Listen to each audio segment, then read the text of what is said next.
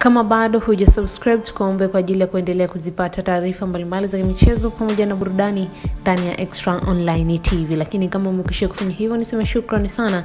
Endelea kutufuatilia kwa ajili ya kuzipokea zile za muhimu ambazo huwa na kujuza kila wakati, kila muda, kila ambapo ninapata taarifa ya kimichezo pamoja na burudani, basi mimi pasina shaka naweza kukujuza popote pale ulipo. Cha msingi wewe bonyeza alama ya kengele kwa ajili ya kupata notification zetu kwa haraka zaidi. Lakini kwa mujibu wa meneja wa Dickson Ambundo, kiungo mshambuliaji anakipiga ndani ya Dodoma Jiji, dili la mteja wake kujiunga Yanga limefikia hatua nzuri. Ali Muhammad ambaye ni meneja ameweka wazi kwamba muda si mrefu kila kitu kitakamilika kwa nyota huyo kujiunga na Yanga inayonolewa na kocha mkuu Nasri Nabi. Yanga tumefikia nao katika hatua nzuri ya kukamilisha dili hili kwa sababu walishawasilisha ofa na tukawa tumefika sehemu nzuri. Kwa sasa tunasubiri kukamilisha utaratibu za mwisho ili kuona namna gani dili hilo litakamilika. Mbundo amekuwa kwenye kiwango bora ndani ya Dodoma Jiji, ambapo kwenye mchezo wao wa kombe la shirikisho dhidi ya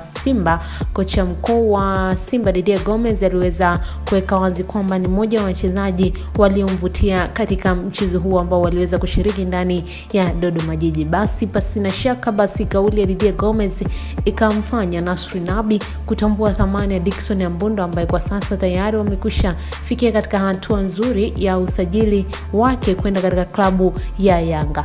Ambundo ni mchezaji ambaye awapo uwanjani anaonyesha makeke mengi katika klabu yake ya Dodoma Jiji, lakini kutokana na hayo makeke, basi na mchezo wake kuwa mzuri umewavutia sana klabu ya Yanga, viongozi, makocha pamoja na wachezaji wengine, na hisi wako tayari kwa ajili ya kumpokea mchezaji huyo kwa ajili ya kulisakata kabumbu katika msimu ujao wa ligi 2021 2022, lakini pia katika michezo kimataifa. Maoni yako ni yapi? Mtazamo wako ni upi? Tuandikie muda wote, wakati wowote, tutasoma ndani ya Extra Online TV. Kikubwa fanya kusubscribe na kubonyeza alama ya kengele kwa ajili ya kuzipokea taarifa mbalimbali za kimichezo pamoja na burudani.